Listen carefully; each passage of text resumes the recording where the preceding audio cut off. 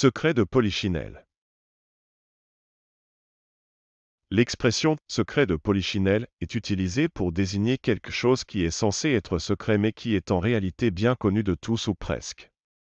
On emploie souvent cette expression pour se moquer de l'évidence d'une situation que certaines personnes prétendent être ignorantes.